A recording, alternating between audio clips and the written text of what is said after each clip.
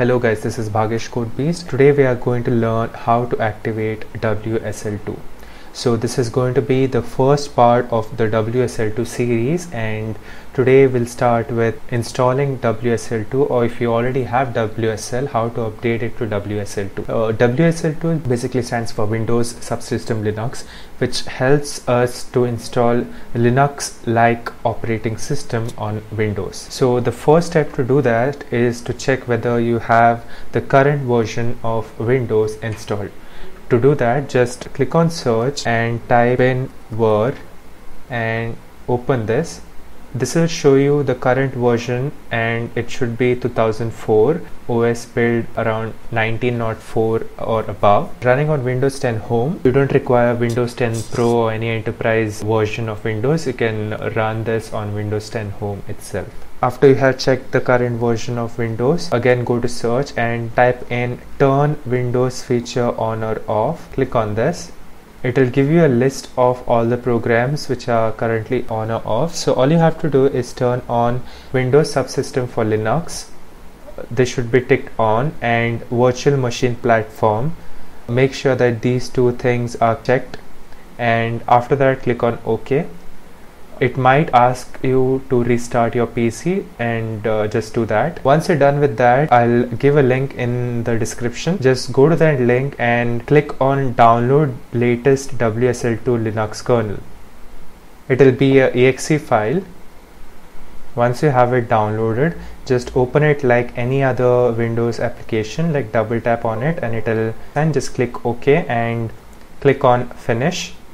After that, open your command line type in cmd and hit enter. In here type in wsl hyphen hyphen list hyphen hyphen verbose.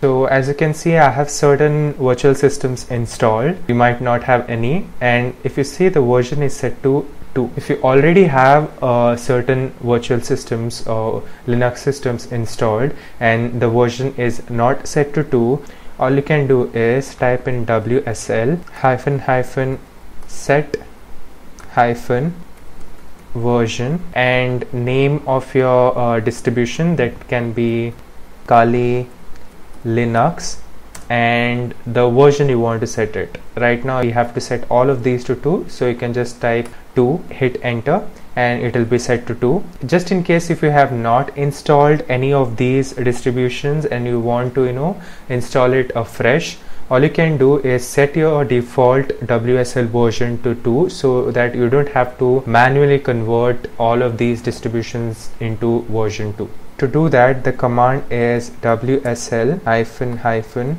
set default version 2 and hit enter. If you get this prompt that means your default version has been set to 2 now if you install any uh, linux distribution it will be automatically installed on version 2 and you don't have to convert them to version 2 from version 1 once we have run this command now we have to install linux distro.